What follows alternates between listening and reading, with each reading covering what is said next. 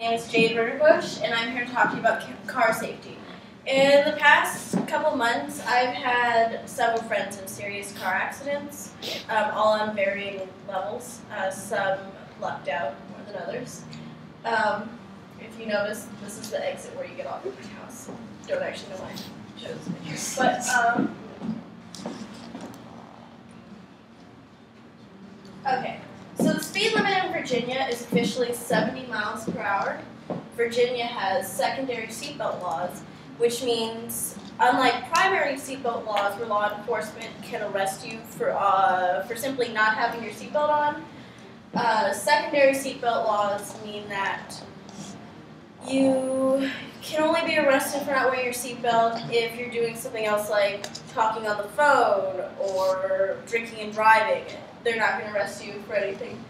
Um, and the National Traffic Safety Administration has reported that seatbelts saved more than 75,000 lives from 2004 to 2008, and that's quite a bit of lives. Uh, and I think you should wear a seatbelt because of inertia. The law of inertia states that, here, let me get this. The law of inertia states that, uh, let's just say 70 miles per hour, um, when you go through the windshield when you're not wearing a seatbelt, you're going to be going three times that. So you're continuing that at 210 miles per hour. So you're going to be hitting the pavement at that speed. Okay. Here are some friends of mine that were in a car accident. Uh, they were driving the speed limit. We were. Uh, when the car crashed. The car was totaled. And, but they were fine because they were wearing their seatbelts. Here's another friend of mine. Uh, she was in a car that was driving over the speed limit.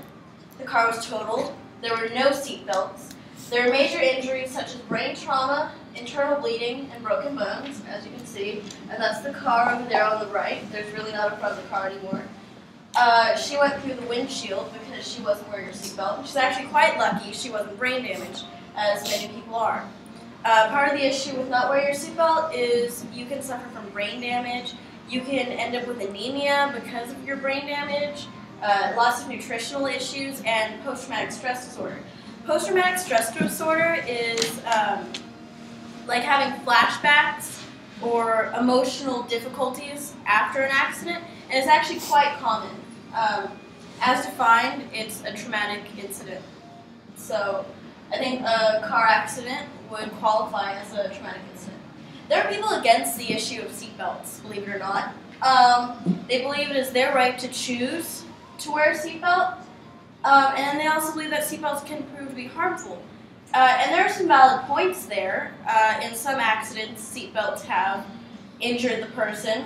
Uh, however, there are a lot more people that are safe because of seatbelts rather than not wearing them. Um, wearing a seatbelt is sort of like having a warranty on your computer. It's, I mean, you don't always need it, but it's sure nice to have when everything's breaking down at the wrong moment. Um, and I'd much rather have cuts on my arms than be brain damaged. So here's what we can do. I think as a community we should commission Ayad Akhtar, and if you don't remember, he was the person who wrote Disgraced.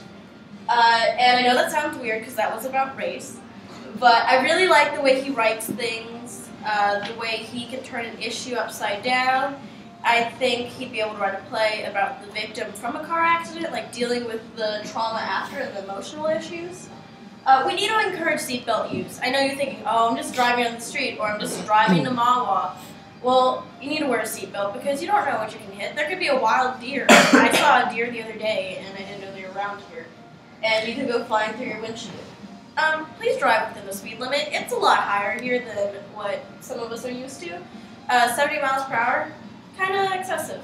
Uh, but uh, if you wear a seatbelt, you should be okay. Uh, and here we're excited. Thank you.